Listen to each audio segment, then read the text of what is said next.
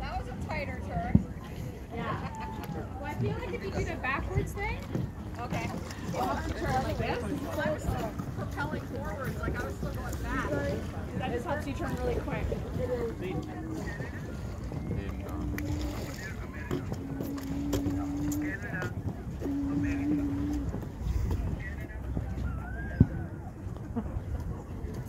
vai.